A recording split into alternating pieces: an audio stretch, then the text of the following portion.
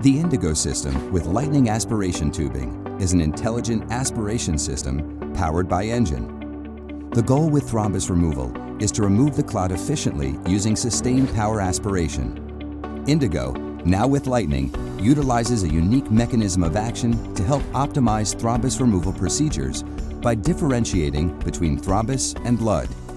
The system is designed to aspirate continuously when in thrombus and intermittently in patent flow. Lightning aspiration tubing has dual pressure sensors for real-time blood flow monitoring.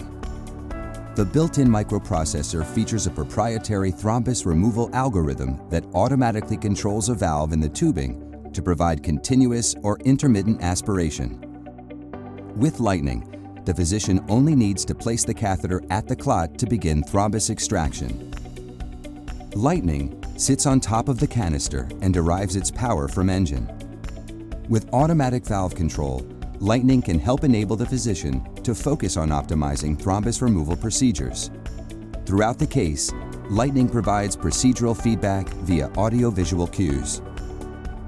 Lightning is packaged with the 12 French Indigo System aspiration catheter, CAT12. CAT12, the next generation of the Indigo System catheters, has a large 0.131-inch lumen and angled tip for additional circumferential sweep.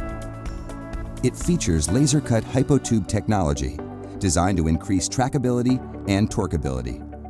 This combination of intelligent aspiration and large lumen catheter engineering forms Lightning 12, the latest generation in clot removal technology. When Lightning is plugged into engine and the four engine LEDs are illuminated, a solid green light will appear on Lightning to indicate that the device is ready.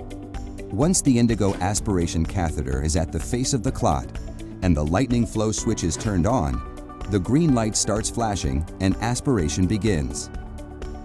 When the indigo aspiration catheter is in patent flow, lightning is designed to automatically register a change in pressure and minimizes flow with intermittent aspiration.